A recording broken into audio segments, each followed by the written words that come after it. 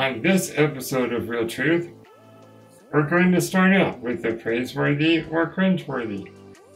This will include topics like theft, God's Word, a cutting edge ministry, magic, and even spit. Yeah, you heard that right. Then we have a real take in response to the ongoing controversy over transgender athletes competing in women's sports. How does the Bible address this issue? Let's consider the truth of all of that up next.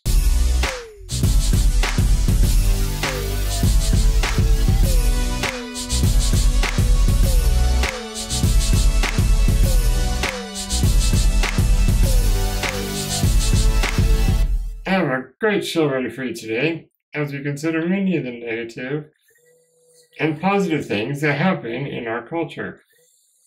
Let's consider a biblical response to the positive and the negative with this edition of Praiseworthy or Cringeworthy.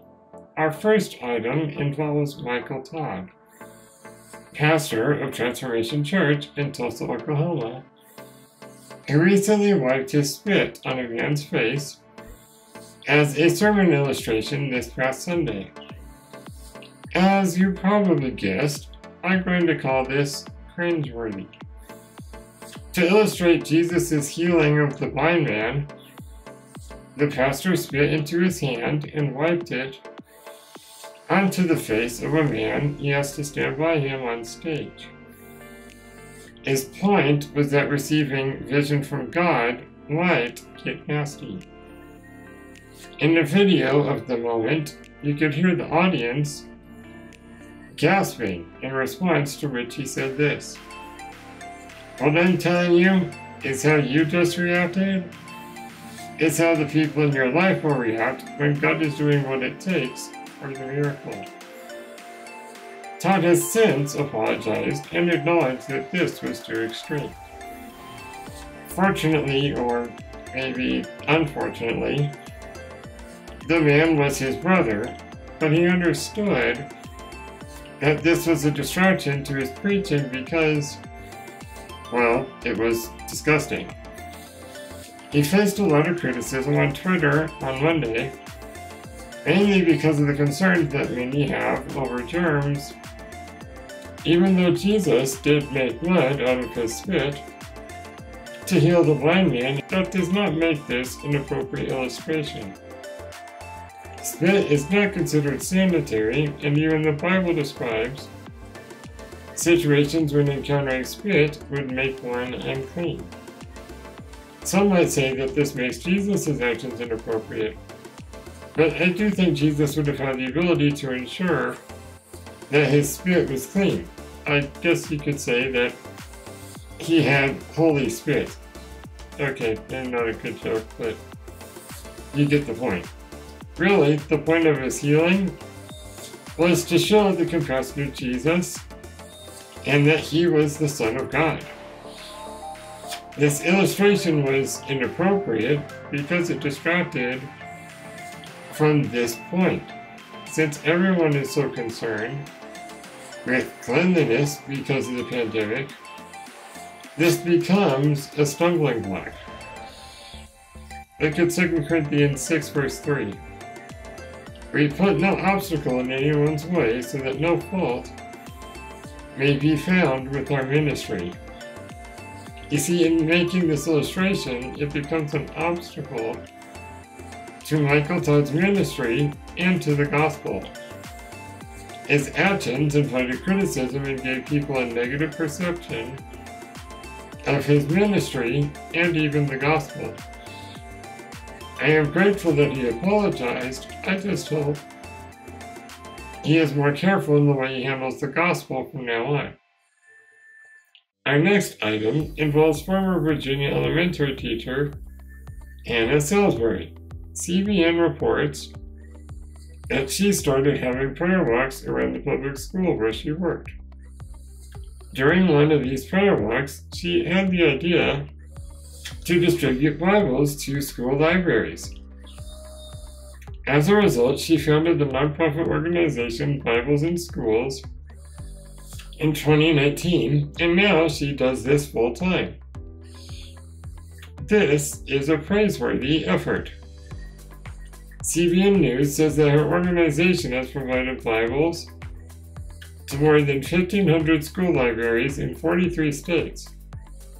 In addition, Bibles in Schools has also reached six countries outside the U.S. School libraries have even written her to request more Bibles because they are so frequently checked out. It is such an important ministry to get Bibles into our schools so children have easy access to God's Word. It is the Bible that God uses to reveal sin and to bring salvation to the lost. Just look at Romans 1:16. For I am not ashamed of the gospel, for it is the power of God for salvation to everyone who believes, to the Jew first and also the Greek. Getting the Bible out there is so important because it is the power of salvation. It is the power to salvation that God provides to save people. And look at Romans 10:17. So faith comes from hearing, and hearing through the word of Christ. People have to hear in order to believe the word of God. In order to have faith, you have to hear the message. That's why it is so important that th- this ministry that she is doing by giving Bibles in schools. Good for her. Now I want to tell you about Jim Hines, a pastor at Summit Church in Florida. The Christian Post says that he was recently fired after he stole $1,000 from their Christmas Eve offering. He was previously accused of a similar theft in 2018, but that could never be proven. Now he admits that he stole money on both occasions. There is no mistaking the fact that this is cringeworthy. There has been a growing trend of crime in the church, and financial fraud is expected to reach $80 billion by 2025. It is sinful for any Christian to be involved in a crime, and this is even in the church. In this case, it was particularly egregious because it is done by a pastor of the church. The Bible holds pastors to an even greater standard, and there is absolutely no excuse for this kind of behavior in the church. It is clear from the Ten Commandments that stealing is a sin. The Bible also tells us that God wants us to be good stewards and that pastors should not be greedy. 1 Corinthians 4 verse 2 says, Moreover, it is required of stewards that they be found trustworthy. Now, this is kind of particularly speaking of leaders in the church, but I think it could apply to everyone that God wants us to be wise with our money. It obviously is a is a sin to steal, and we should be good stewards of what God has given us to use. And that is especially true for leaders in the church. Another relevant verse is Titus 1 verse 7. For an overseer, as God's steward, must be above reproach. He must not be arrogant, or quick tempered, or a drunkard, or violent, or greedy for gain. The Bible says that he must be above reproach. And unfortunately, in this situation, this pastor was not. He shouldn't be greedy for gain, instead, he should be a good steward with what is what God has entrusted him to use, especially in that leadership position in the church. Next is a story from a Religious News Service. Alex Naranjo and Marlene Vargas, hopefully I'm pronouncing that right, are the founders of the House of Intuition and authors of the book Your Intuition Led You Here. They teach that magic is the natural birthright to humans that we all have access to. You don't have to be taught by witches or the, be the descendant of a magician to get into touch with that magic. This is another clear winner for the cringeworthy card. Both of these women were brought up as Catholics and later got involved in magic. They learned various rituals and put magic into practice through their intentions and intuition. Now they offer rituals for people to try and sell candles, crystals, and oils help people get involved in magic based on inspiration from anything or established traditions. In this way, people can use magic to find success and peace.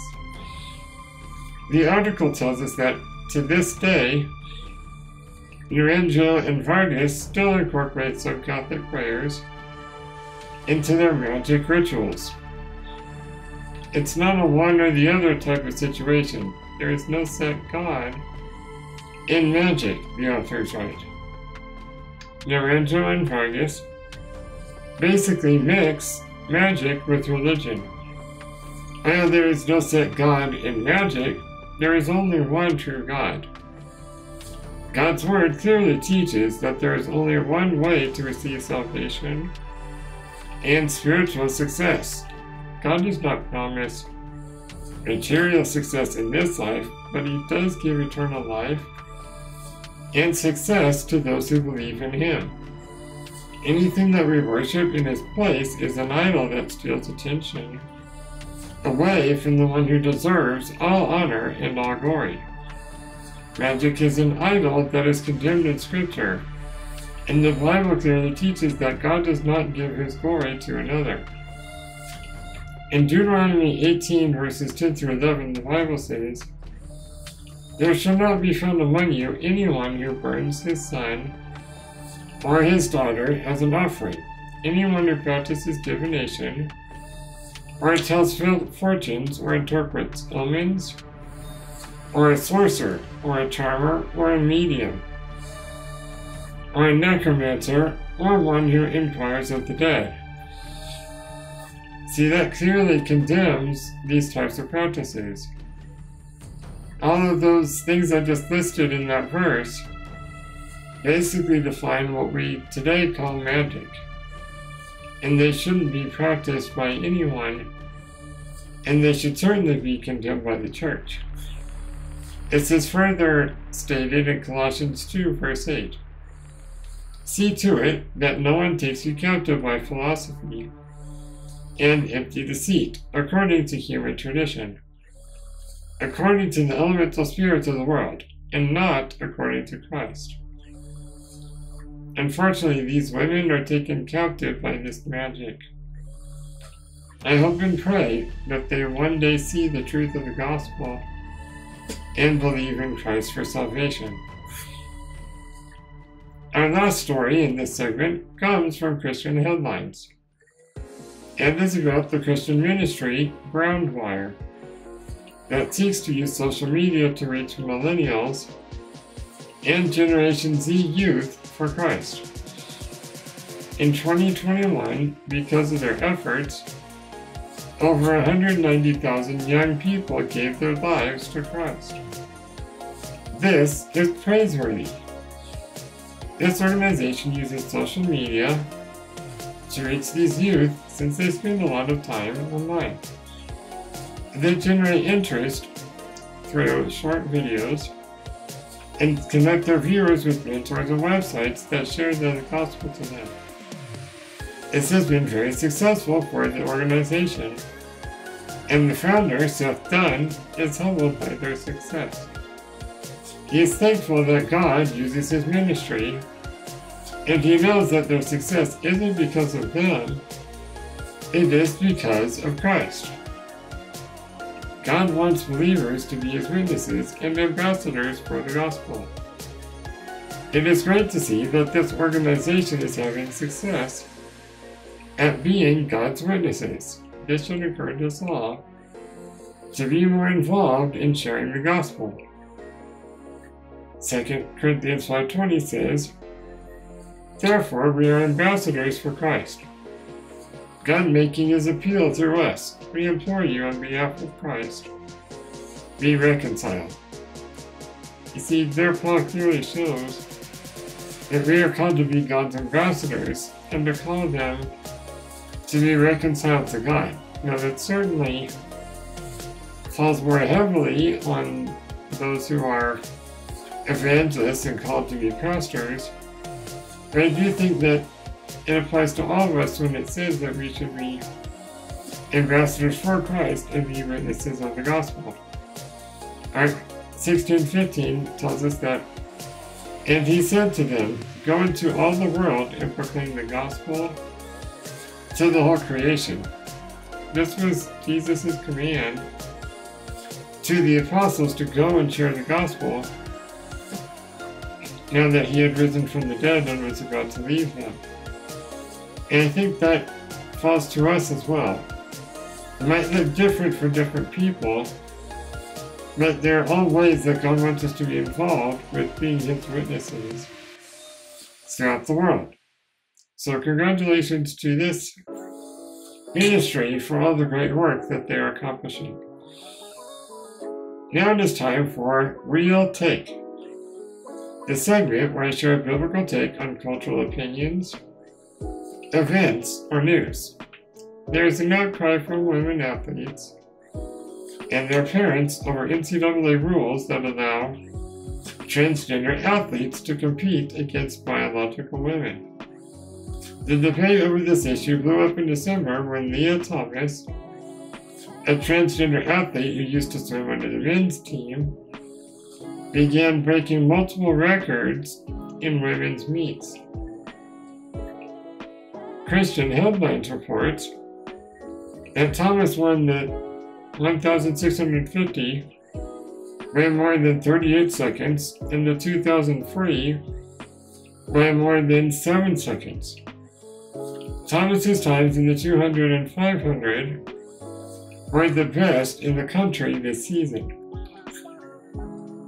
Forbes.com reports that according to Donna Lopiano, president of Sports Management Resources and an adjunct professor of sports management at Southern Connecticut State University, Thomas is swimming extraordinarily fast women's times that are on course for breaking collegiate national records set by the likes of Katie Ledecky in the 500 yard freestyle and Missy Franklin in the 200 yard freestyle.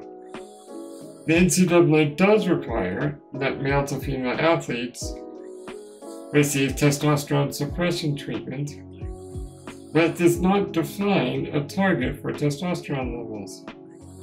This is an issue because the testosterone level for women is 0.06 to 1.68 nanomoles per liter, while the range for males is 7.7 to 29.4 nanomoles per liter. Two-time Olympic medalist Erika Brown, who is also a Christian, doesn't want to create hate. But to speak up for what is right, she recently said in an Instagram story, We cannot allow transgender females to compete against biological women.